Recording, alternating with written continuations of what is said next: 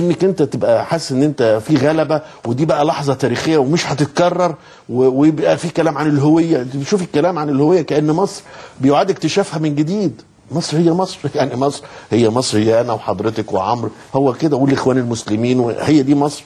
إنما الإخوان مصر مصر مش لون واحد. وبنكتشف ده في الحياة اليومية النهارده.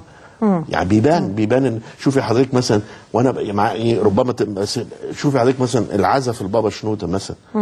العزا ال- المصريين شعروا أن هذا المصاب للمصريين جميعا. ودي بتخ- خلت أظن إنها بتخلينا نعيد النظر في أشياء كثيرة. طيب.